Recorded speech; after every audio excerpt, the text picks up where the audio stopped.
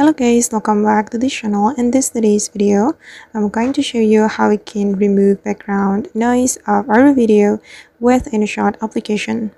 Okay let's get into it. Here i have created a project in my InShot application. And for example i'm going to remove the background noise of this video. So first of all guys we can click on volume. And here we just need to click on denoise. And i'm going to um, play it I'm going to play the video after we um, denoise it. So this is the result. I know that it doesn't totally remove the background noise of this video but at least it sounds better and if you are not satisfied with the result you can save this video first you can save it and you can import the video again to the InShot project then we can do the same step um, we can create new project on InShot.